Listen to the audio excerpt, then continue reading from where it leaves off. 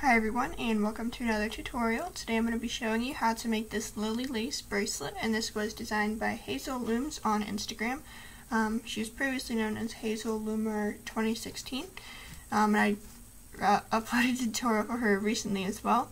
Um, but I'll make sure to have her name in the description box below and yeah, I'll bring up her account here in just a second. Um, first I want to talk a little bit about the design. So you start off with a center chain, which is this mother of pearl, and then you will add um, these kind of rainbow Persian bands on the side. And this is basically the sheer bracelet, I think, or the center of the A Joy doubled bracelet. And then you add on another chain here and an outer chain. Um, so if you know how to make the sheer bracelet, that's pretty much what we're going to start with. Um, but anyway, let me bring up her profile. Is hazelle.looms. There we go. Um, and I'll have her name in the description box below, but for now you can check out her account, like her photos, and give her a follow for me. And we'll go ahead and get started. So first thing you're going to want is a hook. You really don't need a double-ended hook, but if you want one, you can um, you can definitely use one. Um, and then you're going to want to start with the single chain, so hopefully you know how to make that. I already made my little section here. And we'll go ahead and get started.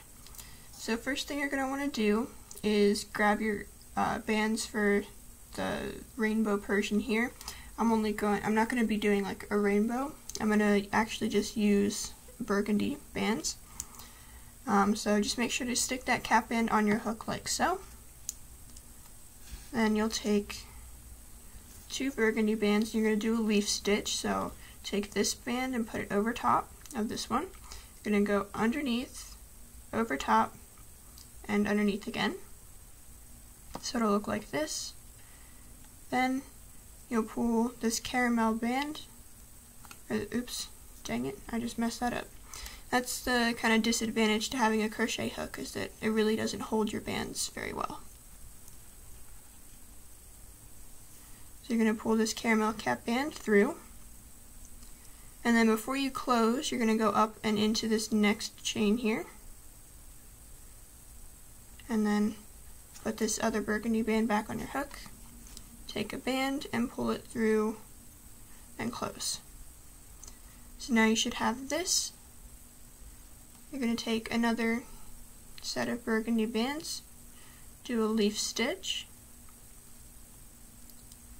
and then take this and just kind of be careful that your bands don't slip off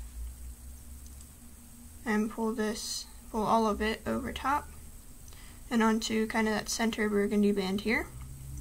Then you're going to go up and into the next chain, which you might need to stretch out your bracelet.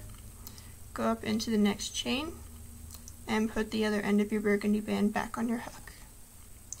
Then once you're there, you'll take another burgundy band through just that first loop. Then repeat the same process. Do a leaf stitch, pull this through everything on your hook, before you close. You might need to stretch out your bracelet again. Go up into the next chain. And then take another burgundy band through just that first loop. So now you kind of have a mirror on both sides. So I'm going to just continue the rest of this and you can follow along if you need to. Um, otherwise, we can go ahead and skip ahead to um, the end and I'll show you how to close it off.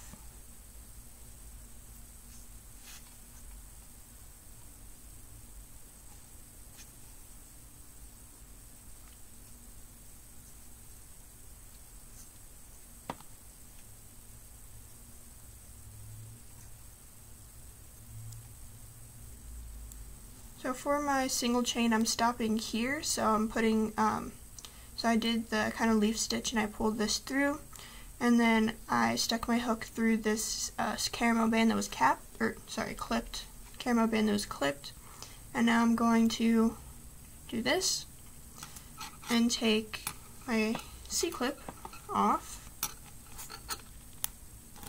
like so, and then I'll just take one last burgundy band and pull it through all six loops on my hook. So that's what it's going to look like. Then you can go ahead and clip that burgundy band again just so that you don't lose it. And you should have something like this, but maybe a little bit longer than your wrist. Now what we're going to do is add the mother of pearl bands here on the side. And for that I'm going to be using this chocolate chip uh, gold band, I guess.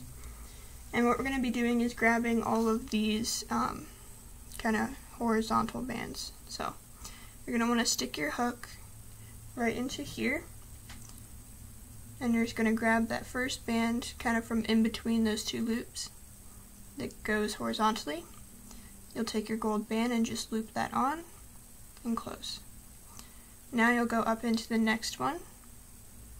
You'll go in between these two loops here, grab the other loop, then take a gold band and pull it through all three loops on your hook. You'll go up into the next one, grab this band here in the middle, pull a band through all three loops. So you're just going to continue this all the way up. Make sure that you grab the, um, the burgundy band, the horizontal one, from in between the other two loops.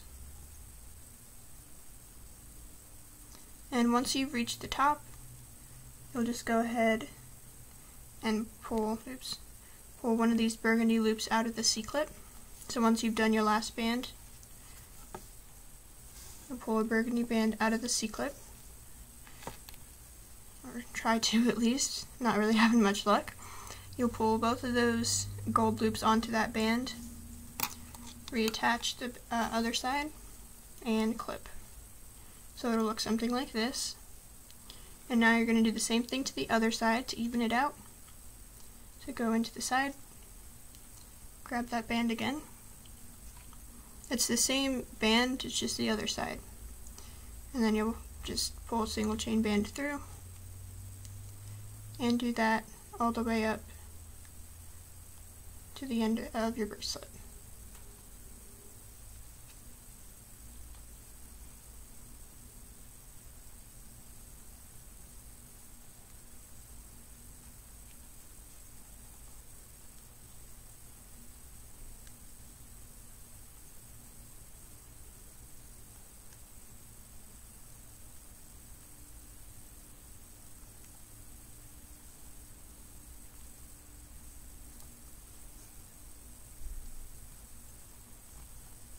Okay, so once you have done that and you've kind of grabbed all of those bands, you're going to do the same thing that we did on the other side. Unhook one of those burgundy loops from the cap or the C-clip. Pull both of those gold bands on and close. Then what you're going to do is reclip and pull that off. So you should have something that looks like this. You can pull your bands out or stretch them or kind of do whatever you need to do. But now we're going to be adding the last border here, which is this rainbow Persian again. And then what you're going to do, you're going to stick your hook through the side and you're going to grab this horizontal burgundy band. This is just for the first step. You're going to grab that horizontal burgundy band and pull one band through. And then you're going to go up into this next chain and you're just going to grab this first kind of gold ish this goldish uh, goldish clear band. Sorry, I can't talk. And you're going to pull that out through the middle of those two loops. And the trick is to actually keep it on your hook, which I'm having a lot of trouble with today. I'm going to pull a band through all three loops and close. Go up into the next chain, grab that band through, pull a band through all three loops and close. So you're basically making a single chain, but you're just grabbing this um, gold loop here.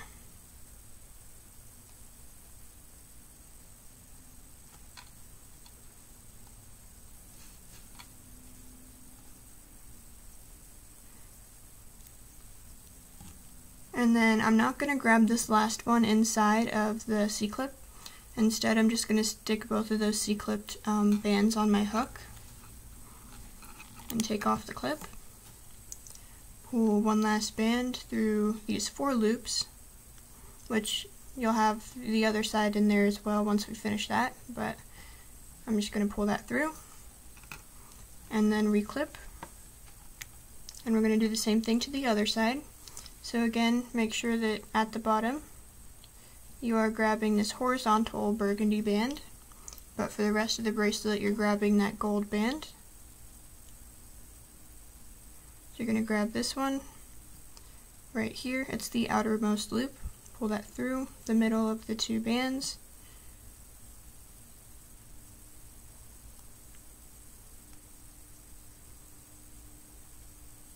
and just continue all the way up until you reach the end of your bracelet.